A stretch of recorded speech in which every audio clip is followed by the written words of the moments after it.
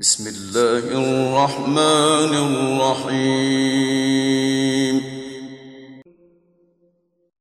قل أطيعوا الله وأطيعوا الرسول. فإن تولوا فإنما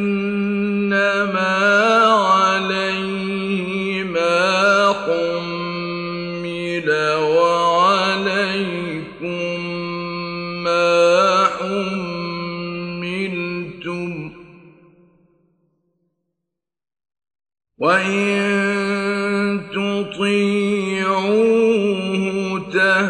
تهتدوا وما على الرسول إلا البلاغ المبين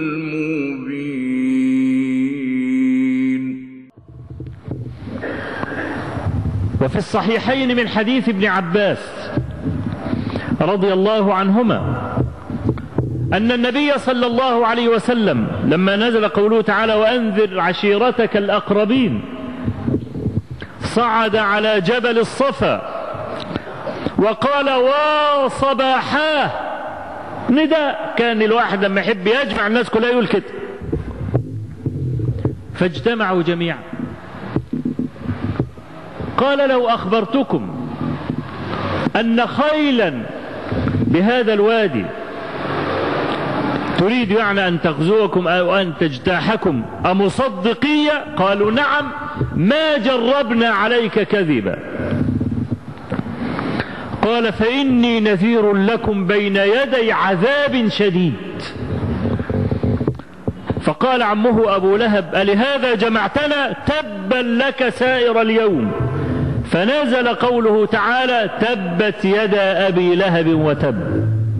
الشاهد ما جربنا عليك كذبا قط. لماذا لا يؤمنون به؟ الإيمان منحة.